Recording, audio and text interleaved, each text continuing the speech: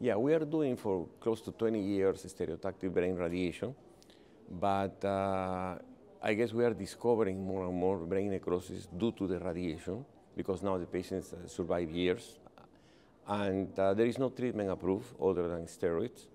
And uh, uh, we, a lot of us use bevacizumab off-label, but it's good also to have a publication saying, hey, you know, so somebody has uh, researched this and demonstrated. We have 35 patients in our institution that we use bevacizumab four cycles, and the success rate is amazing. It's close to 90%. So it's a very useful therapy. Unfortunately, you know, there are the, the there is no pharmaceutical industry companies interested because now bevacizumab is, uh, is, uh, is generic and, and, there are biosimilars, no? But I think it's important to know that this is an option because more and more we are seeing more brain necrosis.